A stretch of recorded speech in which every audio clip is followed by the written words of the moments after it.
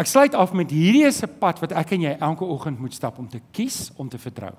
Dawid skryf terug by Psalm 27. Dawid skryf, hy sê vertrou op die Here. Sê gou vertrou op die Here. Wees sterk en hou goeie moed. Ja. Ja. Ha? Dit sê Dawid terwyl hy weghardloop vir Saul. Sy lewe is in gevaar en hy herinner homself vertrou op die Here. Ek gaan nie vertrou op my manskap en ek gaan vertrou op my swaard nie. Ek gaan nie vertrou op my rykdom nie. Ek gaan nie vertrou op enigiets nie. Ek kan net net net in die Here vertrou. En hy sê dit vir homself twee keer in een vers en dis wat ek en jy moet doen. Ek en jy moet repeteer en vir onsself sê vertrou op die Here vertrou op die Here, vertrou op die Here, vertrou op die Here, vertrou op die Here. Ek kan, ek mag, ek kan. Hy sal deurkom. Daai prentjie lyk dalk nie soos wat ek wil hê nie, maar ek weet die Here weet beter en in sy hande gaan ek oukei okay wees. Sê vir die ou langs aan, vertrou op die Here. Sê vir die ou aan die ander kant, vertrou op die Here.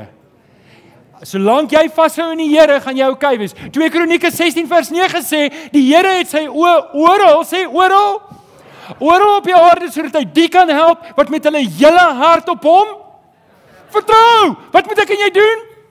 Vertrou op die Hoorie, ek kan dit nie stres nie. As jy een ding vandag onthou en jy stap hier uit en iemand stamp in jou, moet jy skrik en sê, "Vertrou op die Here." Kan jy dit doen? Dis wat jy moet onthou. Ek ken nie die toekoms nie. Dit maak my bang. Ek wil graag weet. Wie van julle wil ook weet? Ag, julle jok. OK. Maar ek weet nie, maar ek ken hom wat doen. En ek weet, God gaan nie vir my die hele prentjie gee nie en dis oukei. Okay.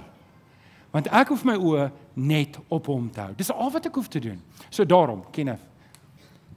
Vanoggend wil ek hê word kalm. Ontspan nou. Ek weet nie wat jou plan nie.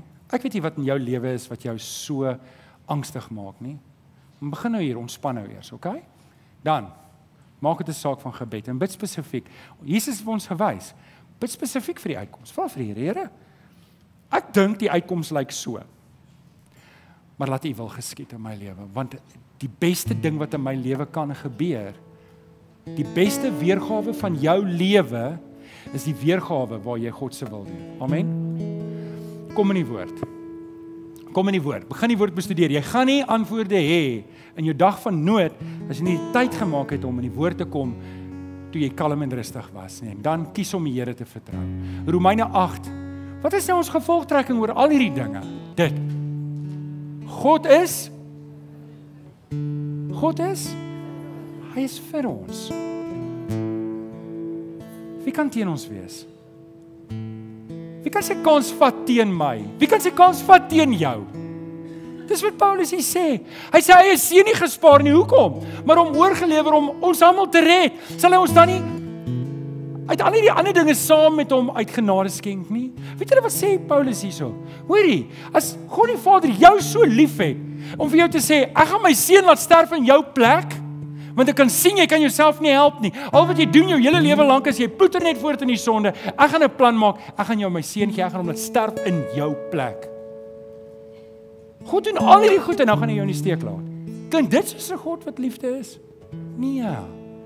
Volgende raak nou kalm. Sit jou vertroue in hom. Gee daai gee daai jakkal se naam vir oggend. Gee daai jakkal se naam wat jou so opkuil in die aand wat jou een hierdie oggend met koue sweet laat wakker sit en sê hierdie ding gaan skeefloop en sê nee nee nee. Verander daai woorde met ek vertrou op God. Ek vertrou Kom sê dit saam. Ek vertrou op God. Nog een keer. Ek vertrou